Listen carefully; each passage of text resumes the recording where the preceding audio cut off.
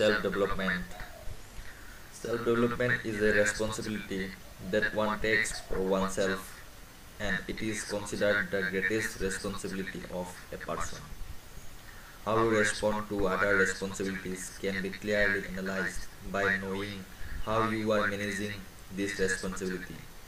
Self-development takes care of how one molds oneself as a human being, as a homemaker, and as a career-oriented person. Self-development involves assessing one's strengths and weaknesses. It includes making your strengths your assets and working on your weaknesses to overcome them. It is impossible for a human being to be perfect, but if tried wholeheartedly, it is certainly possible to reach close to perfection. The idea is to gain complete control over oneself in order to reach one's goals.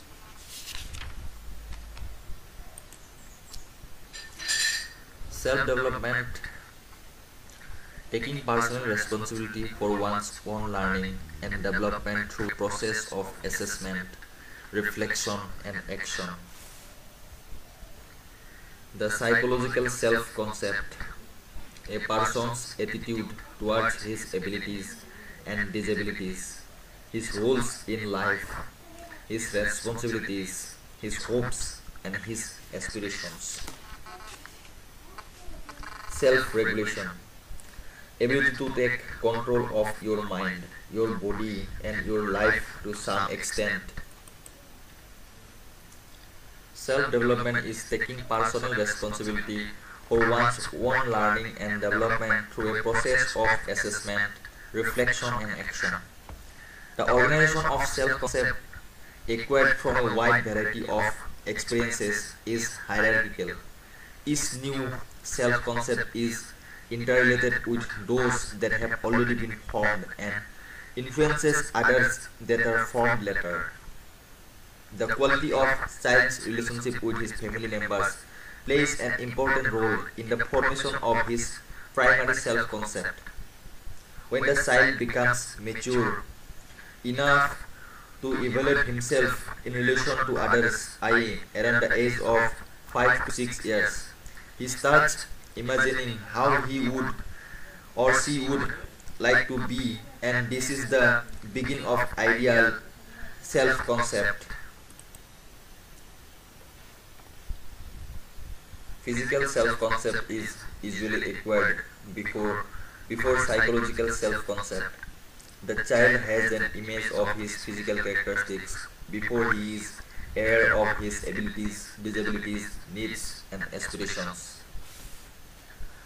The psychological self-concept includes a person's attitude towards his abilities and disabilities, his roles in life, his responsibilities, his hopes and his aspirations.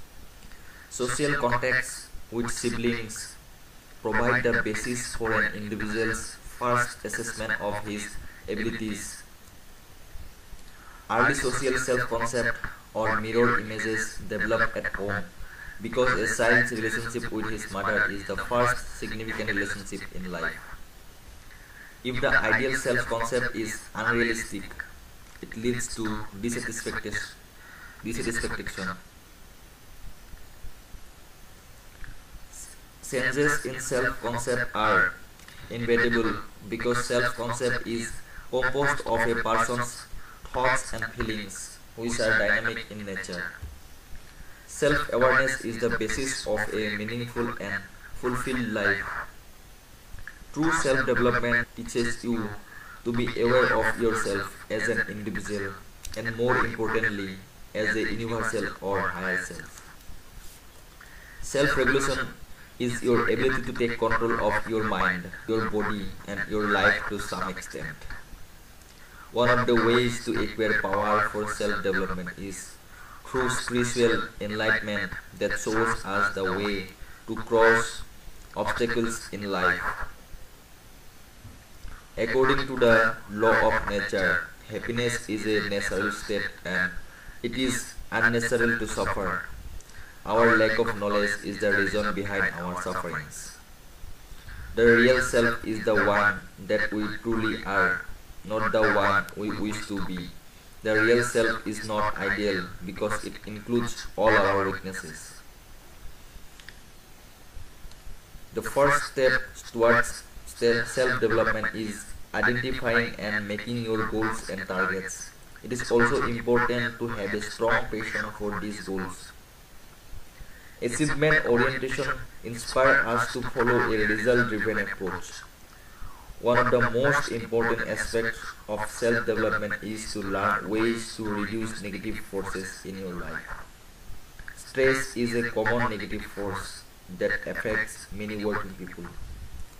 Many people feel that yoga and meditation can help a lot in relieving stress. Deep breathing is one of the easiest form of yoga. Meditation makes us aware of our intrinsic wisdom and help us become a better person. Thus, it can play a major role in self-development.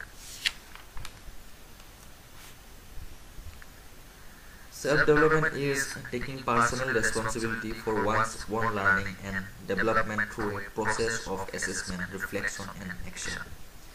The quality of child's relationship with his family members plays an important role in the formation of his primary self-concept.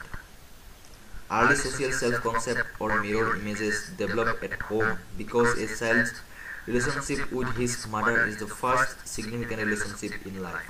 Later, the child develops social relationship with other family members and their treatment towards him contributes to the development of his social self-concept.